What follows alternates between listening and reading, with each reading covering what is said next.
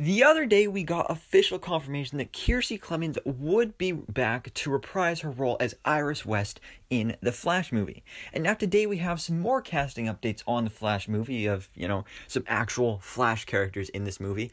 And that is for both Henry and Nora Allen, of course, the parents of Barry Allen. And we've got some good news and some bad news because the good news is is that Mar- Maribel Verdú has been officially cast as Nora Allen in the film, which is pretty interesting. Most likely just going to be for like flashbacks because, you know, she's dead. Unless they are really doing the whole uh, Flashpoint thing where he goes back in time to bring her back. So maybe. I mean, we'll have to wait and see.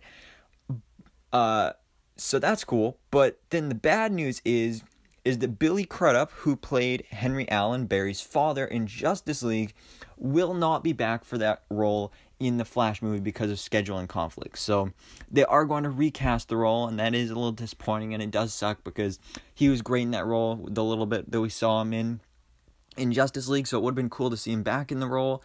Uh, but unfortunately, you know, again, casting conflicts, so just couldn't make it happen. But we will still be seeing the character of Henry Allen in the Flash movie, so that's definitely really cool. And we're gonna be getting to see both of Barry's parents, so I'm I'm really excited for this. But guys, of course, let me know down in the comments below what do you think about this. Are you excited to see Maribel Verdú as Nora Allen in the Flash movie, and somebody else recast as Henry Allen in the movie as well? So. Thanks so much for watching. Please drop like if you enjoyed this video and hit the subscribe button so I can keep you up to date on everything goes on in the DC life.